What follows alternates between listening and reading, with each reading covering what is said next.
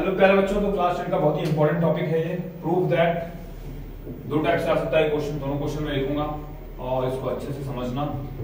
Prove that area of an equilateral triangle ठीक है? Equilateral triangle is root three by four a square ठीक है, ये आपका क्वेश्चन है। Prove that area of an equilateral triangle is root three by four a square ये ऐसे भी आ सकता है दूसरे तरीके से बताऊँ।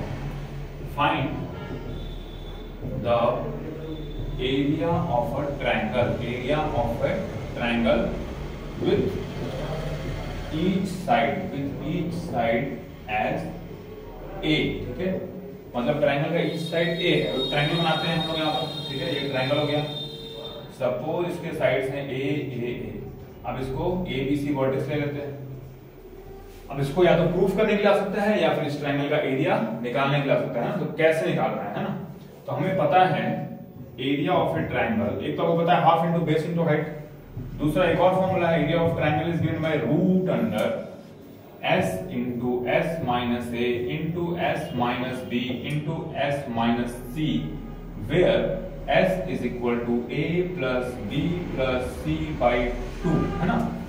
एक तो ये फॉर्मूला है तो इससे हम करेंगे इसको, ठीक है? अगर क्वेश्चन आएगा तो ऐसे ही करना इक्वल टू रूट अंडर ठीक है?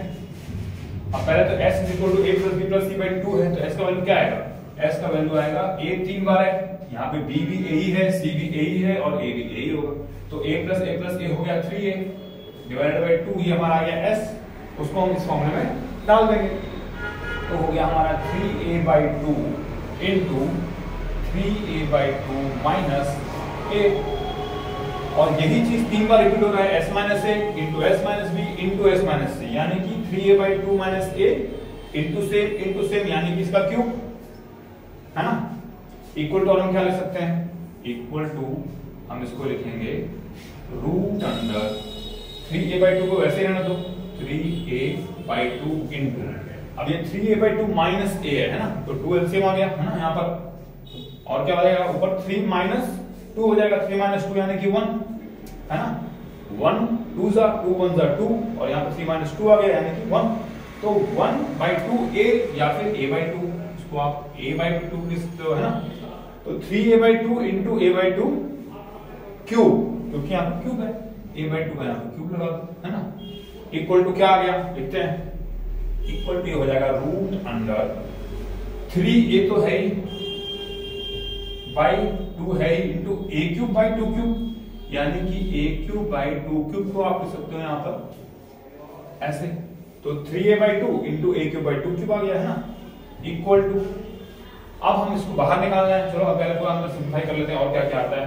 Three a two power four हो गया। डिवाइड का नीचे टू का पावर फोर हो गया, है ना?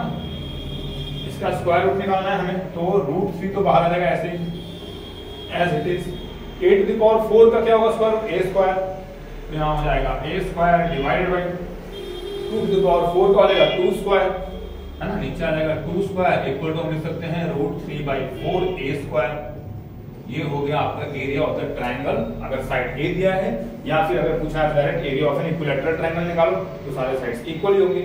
तो इसी तरह से प्रूफ करना है और ऐसे बहुत सारे क्वेश्चन मैं ऐड करता रहूँगा। एग्ज़ाम आ रहा है, करते रहो, पढ़ते रहो। Thank you very much bye bye